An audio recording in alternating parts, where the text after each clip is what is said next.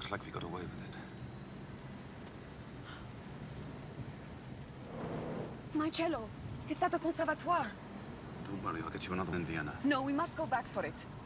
We have about ten minutes, if we're lucky, before they discover what's happened. I must get my cello. No way!